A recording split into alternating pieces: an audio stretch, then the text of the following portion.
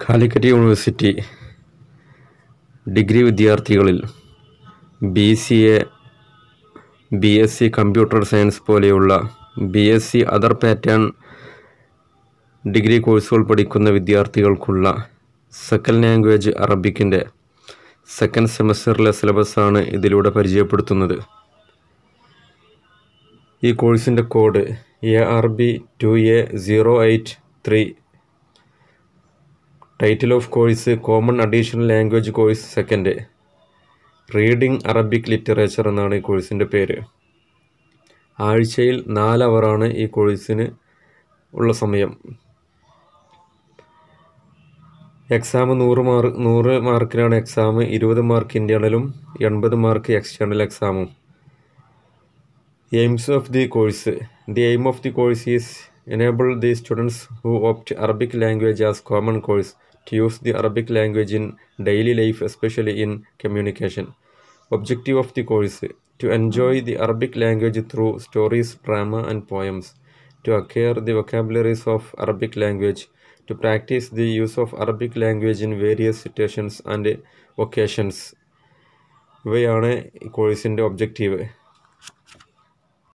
കോഴ്സിന്റെ ഒരു ഔട്ട്ലൈന് മൂന്ന് മൊഡ്യൂളുകളാണ് ഈ കോഴ്സിനാകെ പഠിക്കാനുള്ളത്.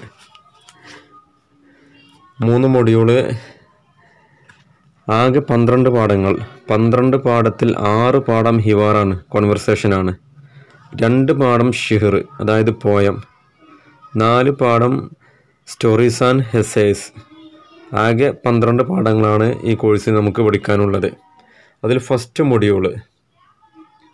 മൊഡ്യൂൾ വണ്ണിൽ നാല് പാഠങ്ങൾ അവ നോക്കാം. അൽ ലുഹത്തുൽ ഉഹ്റ ദി അതർ ലാംഗ്വേജ് മറുഭാഷ. ജിബ്രാൻ ഖലീൽ ജിബ്രാന്റെ ഒരു കഥയാണ് അൽ ലുഹത്തുൽ ഉഹ്റ ജിബ്രാൻ ഖലീൽ ജിബ്രാൻ ലോകപ്രശസ്ത എഴുത്തുകാരനായ ജിബ്രാൻ ഖലീൽ ജിബ്രാന്റെ അൽ ലുഹത്തുൽ ഉഹ്റ രണ്ട് അരിഫ് നഫ്സഖ് ഹിവാറാണ് കോൺവെർസേഷനാണ് അരിഫ് നഫ്സഖ് ഇൻട്രൊഡ്യൂസ് യുവർ സെൽഫ് നീ നിന്നെ തന്നെ പരിചയപ്പെടുത്തുക. ഒരു കോൺവെർസേഷനാണ് മൂന്ന് കഫുൽ അദ. കഫുൽ അദാണ് ഉപദ്രവം നിർത്തുക. അദ്ദക്തൂർ അബ്ദുറഹ്മാൻ അൽ അരീഫി സൗദി പ്രബോധകനായ ഡോക്ടർ അബ്ദുറഹ്മാൻ അൽ അരീഫിയുടെ ഇസ്തംത്യ ബി ഹയാത്തിക് എൻജോയ് യുവർ ലൈഫ് എന്ന് പറയുന്ന പുസ്തകത്തിലെ ഒരു ലേഖനമാണ് കഫുൽ അദ.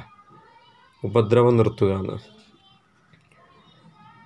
നാല് അവൽ യോമിന് ഫിൽ Jamia first day at the campus.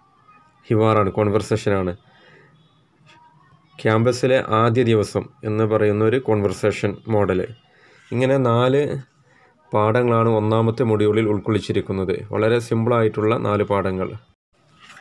രണ്ടാമത്തെ മൊഡ്യൂളിൽ അൽ ഖുദസ് നിസാർ കുബാനിയുടെ ഷിഹറാൻ പോയാണ്. സിറിയൻ കവിയായ നിസാർ കുബാനി ഫലസ്തീനെ കുറിച്ച് എഴുതിയ കവിതയാണ് അൽ ഖുദുസ്